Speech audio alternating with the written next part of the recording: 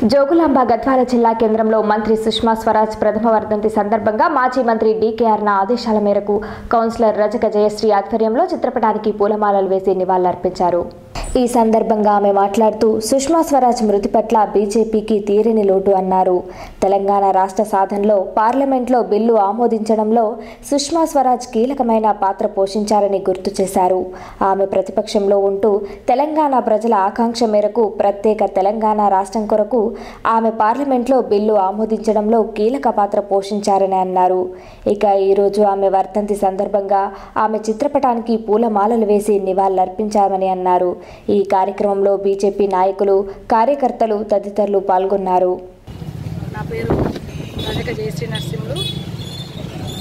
Municipal ముప్పై ఆరో ward municipal councillor పట్టణ మహిళా మోర్చా అధ్యక్షురాలు ఈరోజు సుష్మా స్వరాజ్ గారి వర్ధంతి సందర్భంగా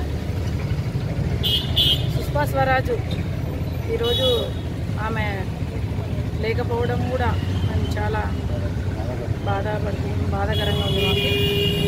అయితే కాంగ్రెస్ పార్టీ అధికారంలో ఉన్న తెలంగాణ కావాలని చెప్పి తెలంగాణ ప్రజలంతా కూడా తెలంగాణ కోసం పోరాటాలు చేస్తుంటే తెలంగాణ కోసం సుష్మా స్వరాజ్ గారు కాంగ్రెస్ పార్టీ అధికారంలో కూడా ఉన్న ఆమె ప్రతిపక్ష బీజేపీ పార్టీలో ప్రతిపక్షంగా ఉన్నా కూడా ఆమె తెలంగాణ కోసం పార్లమెంట్లో అసం తెలంగాణ ఇవ్వాలని చెప్పి బిల్లు పాస్ చేయడం జరిగింది.